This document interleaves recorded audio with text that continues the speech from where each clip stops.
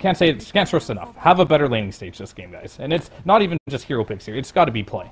Right. They need to make some really good moves around the map. And I think that in a way, this Vanguard anti-mage that we're anticipating seeing from Watson will have a lot of strength and even more strength than he normally would by having this Ion Shell on him, able to run in, do some solid stuff.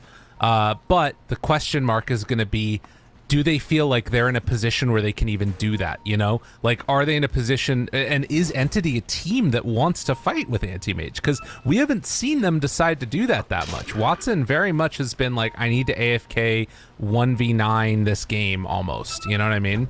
Um yeah for sure. I mean he tries where he can but it's sort of just the nature of the hero right? Yeah. You do have to farm a lot as an anti-mage. You don't have a lot of choices about that he'll join where he can. So that's where I'm stressing so much about Stormstormer and Toby needing yeah. to have a better game. They right. need to make the space. No, agreed. Um, and that needs to start with a decent laning stage. You know what I wouldn't even mind seeing is like throwing an Ion Shell on the bounty in like the mid game and just go let him farm up some camps for you too to get that level six online as quickly as possible because he really doing already need... on Dyrachyo here. Th this is this is really good. If they can run him down, doesn't have an orb of venom, but still can keep up close. They both have uh, the same move speed.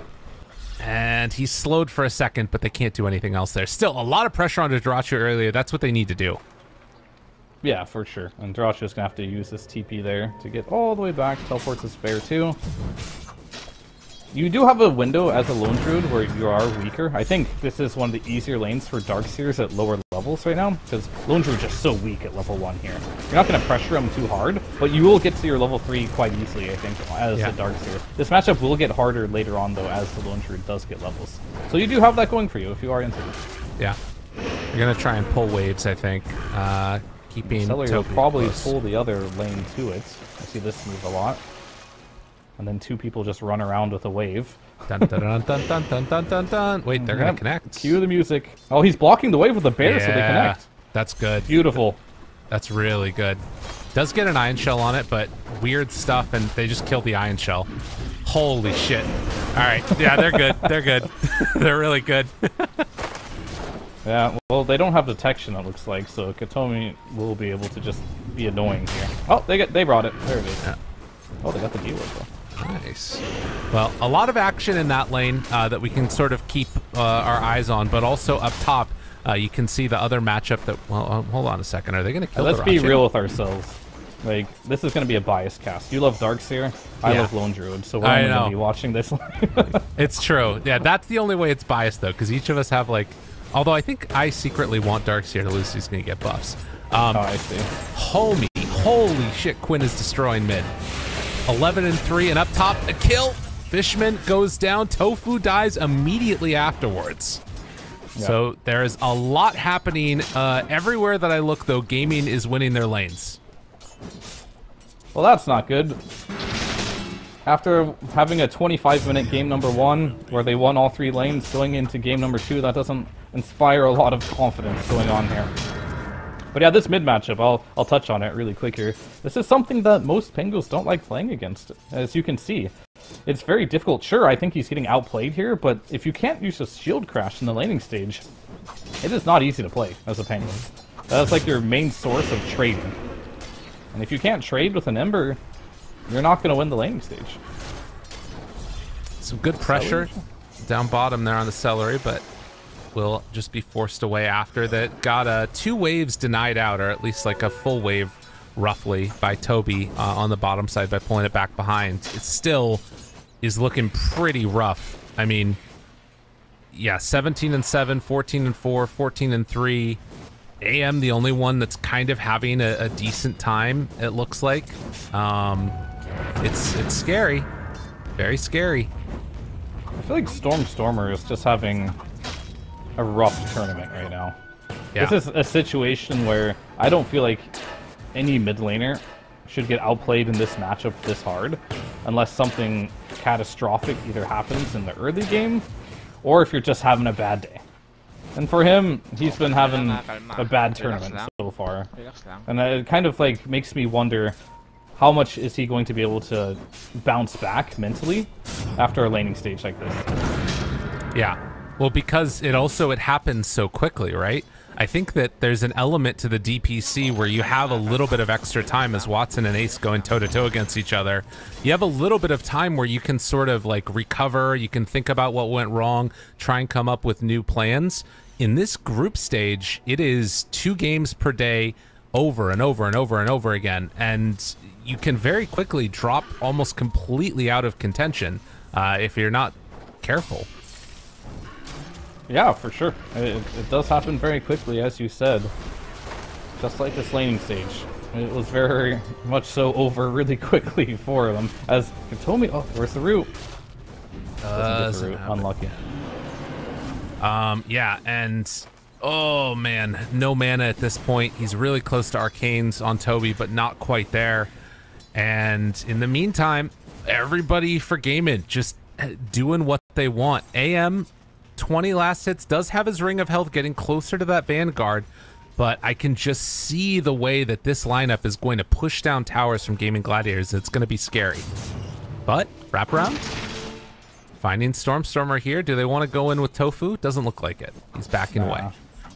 This is a completely different game from Watson as well. When they did play against Rebellion, Watson had a great time versus Saberlight's Nature's Prophet, but over here, Ace, He's top in the CS. He's 32 and 8 against the 22 and 5 of the Anti-Mage. Anti-Mage isn't getting destroyed by any means, but Ace is free farming. Yeah.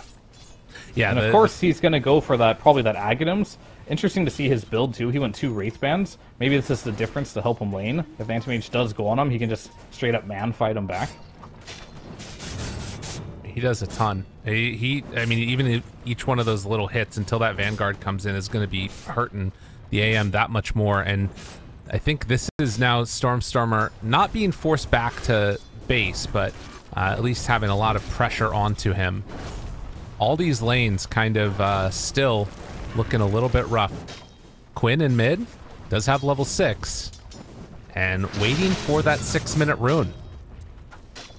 Yeah, they're just going to control the runes here. Stormstormer's in no position to get a rune, and his supports aren't even going to try and help him. Yeah. They're just going to deal with the side lanes here. So unfortunately for Stormstormer here, Struggle City does continue here. So let's think of things that we can do for Entity at this point. okay. It's a little it's a little early in the game, and I don't think there's any rotations that will happen. But I think when you get level five potentially on Toby, you can Ion Shell Kataomi, okay. and he can TP top and maybe kill the NP. Right that's that's a play that they could use. They're going to need that little extra help, but I think until they do get to that level five Ion Shell, that might not work. Ooh. But that might be the only play option they have is Stormstormers. Just... Quinn into mid. Okay, he, going on get to out him. of this at the moment. Forcing the rotation from Fishman, and is just going to use that early aggression to force Stormstormer back to base again. Still level five here at coming up on seven minutes. There is a rotation down Bottom, oh, let's just Seleri TPing back in again. And, I mean, everywhere you look, they're doing what they need to. But Watson does have the Vanguard now. Uh, and Ace, he's building in towards Tread. So just mass amounts of stats. I mean, look at this NP build, right? Double Wraithband mm -hmm. as Seleri's getting chased around. Double Wraithband, Magic Wand, Gloves of Haste with a Blightstone, and now going to have full treads coming out soon. But with the Vanguard, Watson feeling that much more strong and doesn't want to get bullied anymore. Bottom. Vacuum used. Nothing gained. It was just to get some CS there. If you keep the lane static right now for Entity, you're not going to get a kill anywhere on the map. Yeah. It's quite literally impossible. Oh. Like, there's no way Pango's going to get a kill in top lane. Watson, he's... He's, he's, he's okay. Yeah, just... Why not? okay. Pushing out the way, farming a little bit, harassing. I think if you're ace, you'll consider going back here and getting your treads available, even more potential. In the mid Quinn? lane, though, they get Quinn. Quinn? They got him! Oh my god, and Toby gets the kill! Holy moly. Yeah, he had the Ion Shell. That's what they're laughing about. I think Toby's like, haha, where'd that money come from? Lovely. And eight. Oh my god, he doesn't have a Quelling Blade. Oh, nope. Toby. Oh, Bye -bye. Toby. Oh, that's unfortunate. So as I was mentioning, they won't get a kill unless they make rotations, and they did. Yeah. They, they got Quinn. That was a huge kill. still down 1k net worth. The net worth lead isn't as bad as last game. The CS looks like it should be more, but it's not. I'm a little surprised by that, actually. It must be on the, the edge of 1,000, close to 2,000. Right, probably. I mean, the other benefit here, at least, is we will see Fishman go down to Quinn just bullying there in the mid lane. Um, is that, you know, even with these kills, they're not missing a ton. They can maybe even try and go on to Dyrachyo here. But the double fear, and now looking for the chase. The rundown. Oh, he the got the root. root. Oh, my God. Dude, and now they're in pretty far, and Ace is going to punish as they find themselves Kataomi. He dies. And, I mean, you know, this is kills happening while Quinn is still farming out mid, everything going their way, and, and Tofu's just getting a free lane to himself up top. Yeah, I mean, Tofu has a free lane, but so does Watson. They're using this NP to get kills across the map. He's getting active. It's not really hurting him too much because he's now jungling. So more than anything, it's an efficiency move because now they're clearing out the jungle. Tofu is getting some creeps in the top lane. He's dragging it around.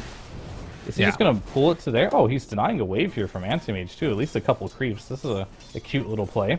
Did he pull Normally it you... around the, the secret shop? Yeah, he did. Yeah.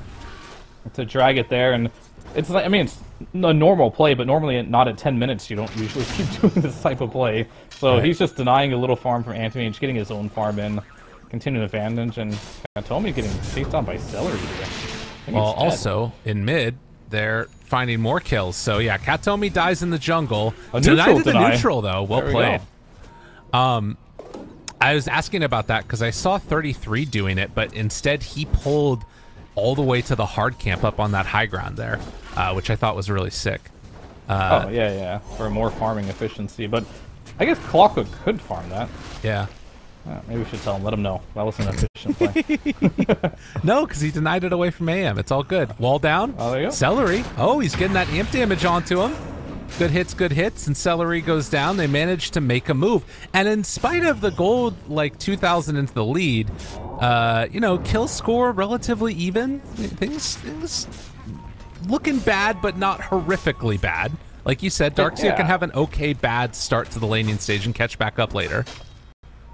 The good news is that the Lone Druid isn't having a great game.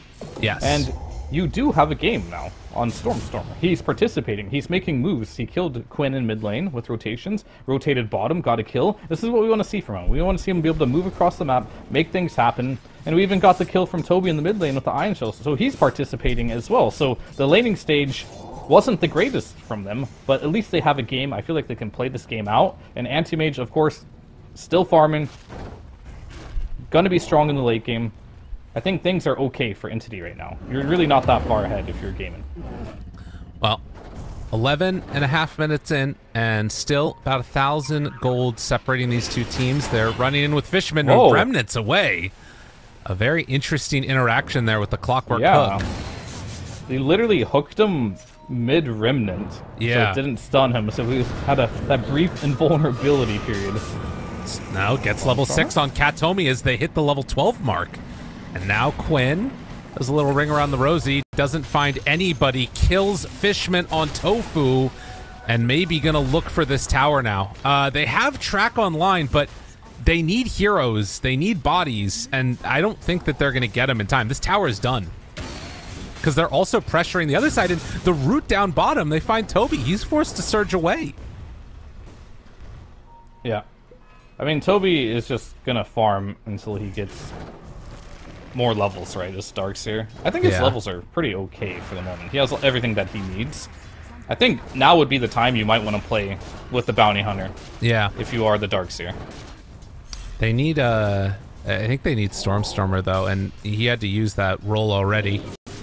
But Root yeah. up top, Watson running into Quinn, burning all the mana, gets the jump away. TP rotation come in, Kataomi. Ion Shell on him. Waiting. Burning. Burning through the Flame Guard. Flame Guard gone. Yeah, so oh, he has 20 stick on Ember. Never mind. Yeah. A little bit scary. They bring right, numbers, he revealed himself now. It's not going to work.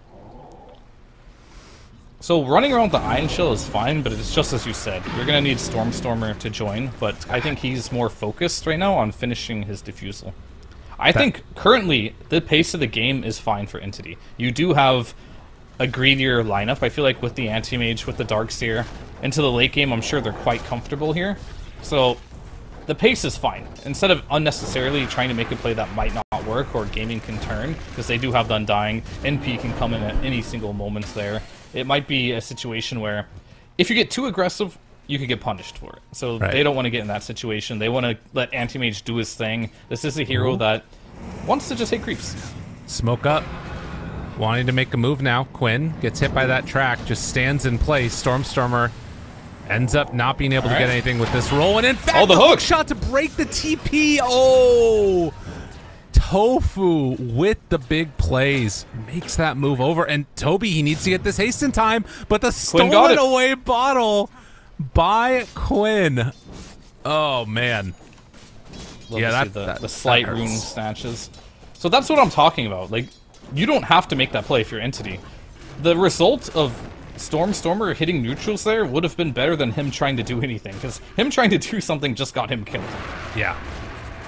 That, that play was very strange to begin with, but it doesn't seem like they're they want to do something, but they don't know how to do it. So it ends up in a play like that, where you kind of go in and you're just like, uh, maybe this wasn't a good idea. Then you get punished. Hmm. Even furthermore, delaying the diffusal blade here. So I personally just, if I'm on entity, I just say Stormstormer, do your thing. Tell us when you want to make a play, because that did not look like something Stormstormer wanted to do himself.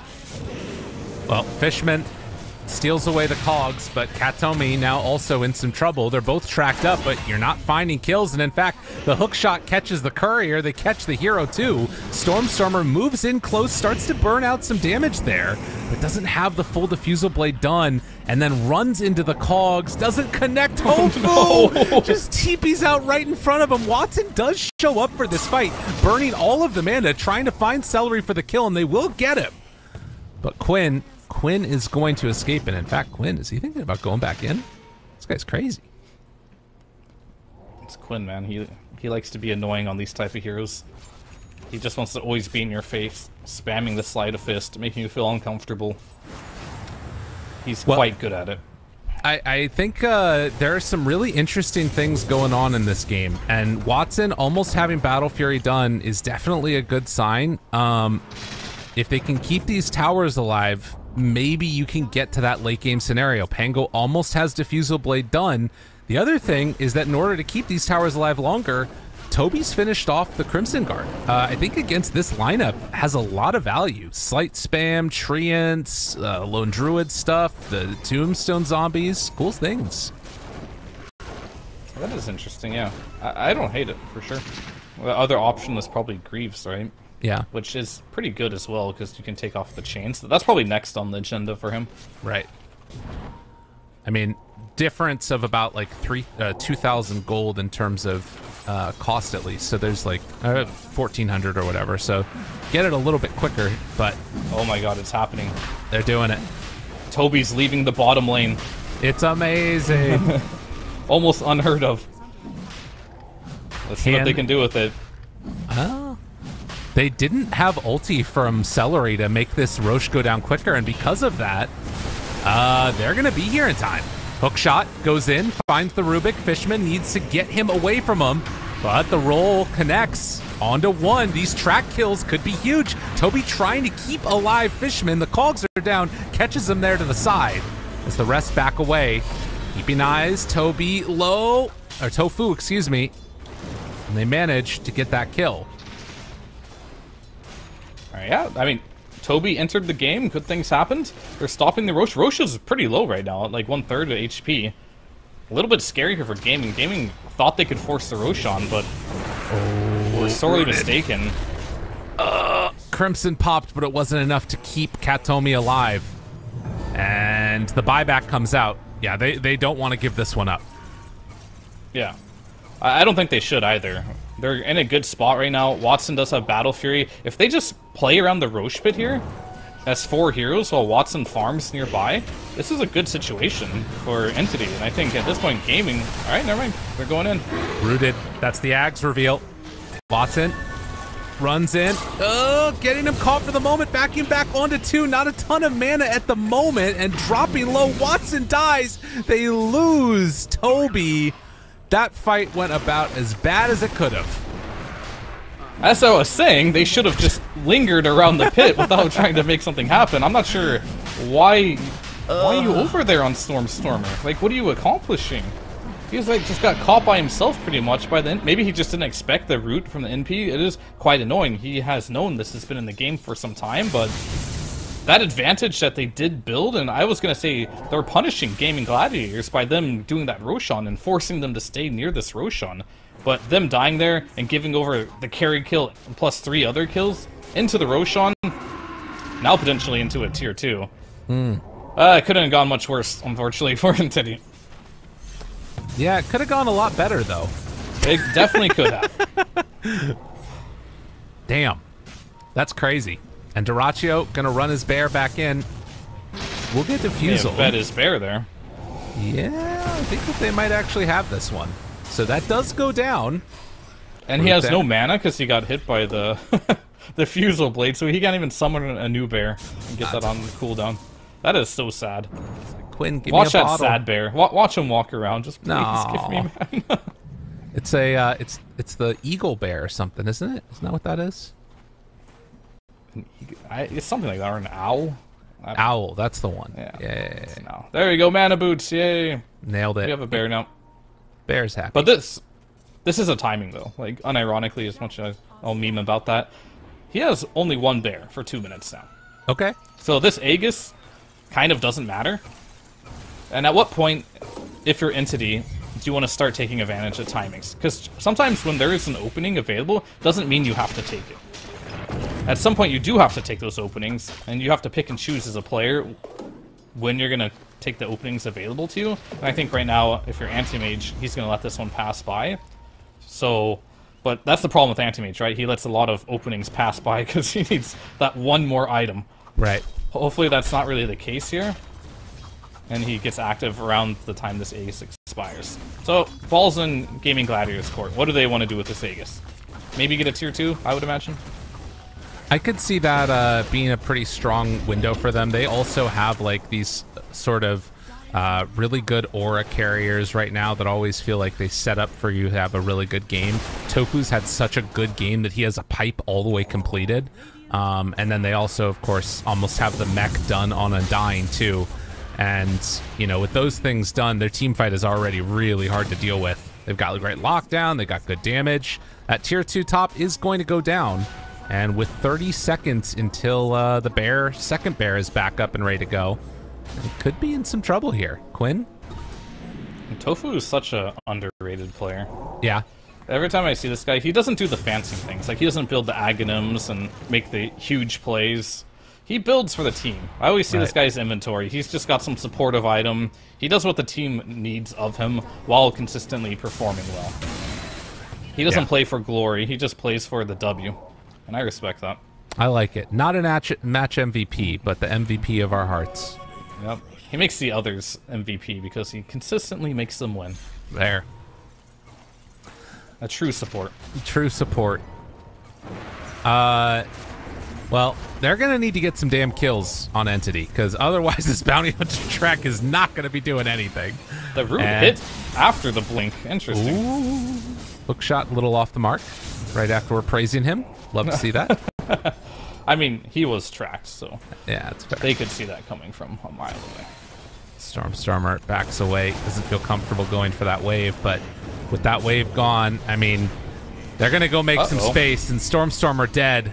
Sometimes space is just death, and now with the wave there at mid, it's another tier two tower going to be taken. Uh, they do manage to take bottom. Watson clears that one out, but man, feels real rough to be entity right about now. Even rougher for Entity's base here in a second, as we do have Lone Druid with a Desolator. Oh, the Crimson Guard, though. Yeah, This is a... He saw into the future that this push was coming, and it's Well- gonna slow it down, but it's not gonna stop it. It, it it really doesn't feel like it matters that much. Level three vacuum feels okay, man. Uh, and Ember's just gonna kill it all. yep, they're all gone. Uh, This is part of the appeal of Lone Druid, too, right? Like, Yeah. you can't make an illusion of the bear, just Right. the hero. And this solution is not very strong, as you can see it hitting. Yeah, it's doing not really nothing. bothered by it. Well, 23 minutes in, mid rack's gone. Yet again in a situation what can we do if we're Entity? And there are things we can do, for sure, if we're Entity. However, Stormstormer's dying too much. He's just... Yeah. The reason they can't do anything is because he's dead. He gets picked off there, which it's not easy. He's playing in double root in the NP ult with the Aghanims. He's playing versus the Ember Spirit. So if he does get caught with one root, he's probably getting perma root, but he's going for Tofu. This man has a pipe, though. Oh. And he might get knocked down. Yeah, doing it. Oh my god, he hooks to his team and he gets out. Oh, Yikes. Oh, yeah. He also has drums now, too, almost since the boots bearing. Wow. Committing to just being a complete aura. He's doing a really good job. This entire team from Gaming Gladiators, they're picking their perfect moments to go on in. Uh, they're itemizing to cover each other's bases, to cover each other's weaknesses, and just making the solid moves. And they're closing out this game exactly the way that they need to. Uh, looking now for this bottom tier two tower. I, I mean, I feel like if they wanted to, they could have gone for like top racks, but it maybe is like one of those things where you maybe lose a hero or two. And I think the fact that Entity has been stuck on six kills for I don't even know how long it's been now. It, it's been a real. What was the last kill that they had? That's a, that's a great question. When is the last? It's it's been a very long time. It was around 17 minutes. So yeah, we're we're we're coming close to a 10 minute mark with no kills on a track lineup for Bounty Hunter. You want to hear the positive things that are going for Entity right now? Yeah, 25 minutes just hit. So Watson bought a double Wraith Band. let's go. It's time. They have Stormstormer rolling on in. The wall onto Tofu. Not really what they were hoping for there. And Anti-Mage Watson's gone. immediately dead. Tofu not even going to fall. The mech comes from the Undying. Uh, this game is over. Uh, Gaming Gladiators completely dismantle Entity in back-to-back 25-minute games. Now can I say it? I was a little premature. Game number one. Gaming Gladiators completely outpicking and outplaying Entity in this series. yeah. Two 25 minute games here. Holy moly. They just have their number. I feel like this just happens against them. Yeah. Uh, it was a bit of a both. It was outplay, outclassed, outdraft.